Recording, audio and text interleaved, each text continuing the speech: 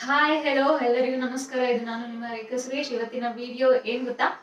Soybean keema. ಹೋಗೋಣ ವಿಡಿಯೋಗೆ come ಈಗ ನಮಗೆ ಸೋಯಾಬೀನ್ ಕೈಮಾ ಮಾಡೋದಕ್ಕೆ ಸೋಯಾಬೀನ್ನ ಬಿಸಿ ನೀರೆಲ್ಲ ಹಾಕಿ ತಗೊಂಡಿದ್ದೀನಿ ಬಿಸಿ ನೀರೆಲ್ಲ ಹಾಕಿ ಸ್ವಲ್ಪ ಆಚೆಗಡೆ ಇಟ್ಮೇಲೆ ಇದು ಸ್ವಲ್ಪ ಬಿಸಿ ಹೋದ್ಮೇಲೆ ಇದನ್ನ ಎಲ್ಲ ವಾಟರ್ ಇರುತ್ತೆ ಇದರಲ್ಲಿ. ಇದನ್ನ ಎಲ್ಲ ಚೆನ್ನಾಗಿ ಸ್ಕ್ವೀಸ್ ಮಾಡ್ಕೊಳ್ಳೋಣ.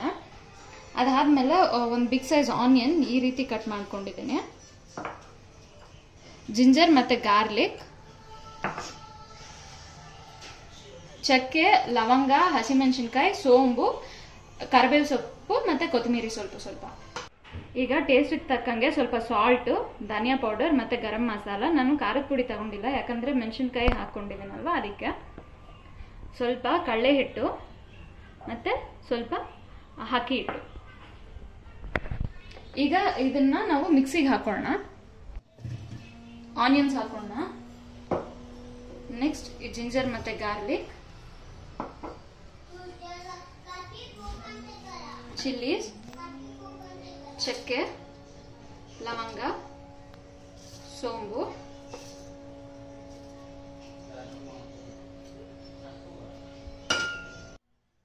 ಮಿಕ್ಸಿಗೆ ಹಾಕಿ ತಗೊಂಡ್ಮೇಲೆ ಇದು ಫುಲ್ ಪೇಸ್ಟ್ ಮಾಡಬಾರ್ದು, ಸ್ವಲ್ಪ ಗರಿ ಗರಿ ಇರಬೇಕು. ಗರಿ ಗರಿ ಇದ್ರೇನೆ ಚೆನ್ನಾಗಿರೋದು. ಈಗ ಈ ಸೋಯಾಬೀನ್ ನಾವು ಮಿಕ್ಸಿಗೆ ಹಾಕೊಳ್ಳೋಣ ಫುಲ್ ನೈಸಾಗಿ ಹಾಕಬಾರ್ದು ದರಿ ದರಿಯಾಗಿರ್ಬೇಕು ಸ್ವಲ್ಪ. ನೋಡಿ ಇವಾಗ ಈ ಸೋಯಾಬೀನ್ ನಾನು ಹೇಗೆ ತಗೊಂಡಿದ್ದೀನಿ ಅಂತ ಈ ತರ ಗರಿ ಗರಿಯಾಗಿದ್ರೆ ಸಾಕು.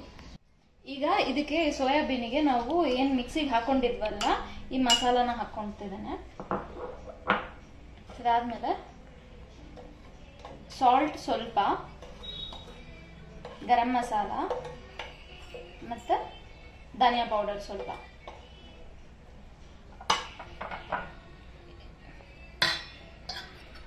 ನೋಡಿ, ಇವಾಗ ಇದು ಫುಲ್ ಚೆನ್ನಾಗಿ ಮಿಕ್ಸ್ ಮಾಡ್ಕೊಂಡಿದ್ದೀನಿ. ಈಗ ಬಾಣಲಿಗೆ ಎಣ್ಣೆ ಹಾಕಿಟ್ಟಿದ್ದೀನಿ. ಇದು ಎಣ್ಣೆ ಕಾದಿದೆ. ಎಣ್ಣೆ ಕಾದ್ಮೇಲೆ ಇದನ್ನ ತೆಗೆದು ನಾವು ಇವಾಗ ಆಯಿಲಿಗೆ ಹಾಕೋಣ.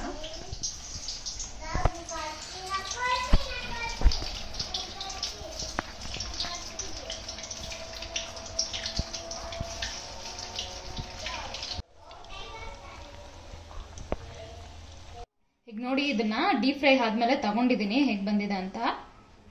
ನೋಡಿ, ಒಳಗಡೆ ನೋಡಿ. ಒಳಗಡೆನೂ ನೋಡಿ, ಚೆನ್ನಾಗಿ ಬೆಂದಿದೆ.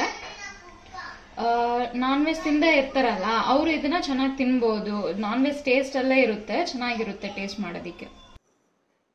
ಇವತ್ತಿನ ನನ್ನ ರೆಸಿಪಿ ನೋಡಿದ್ರಲ್ಲ, ನಿಮ್ಗೆ ಇಷ್ಟ ಆಗಿದ್ರೆ ಲೈಕ್ ಮಾಡಿ ಕಮೆಂಟ್ ಮಾಡಿ ಶೇರ್ ಮಾಡಿ, ತಪ್ಪದೆ ಸಬ್ಸ್ಕ್ರೈಬ್ ಮಾಡಿ. Thanks for watching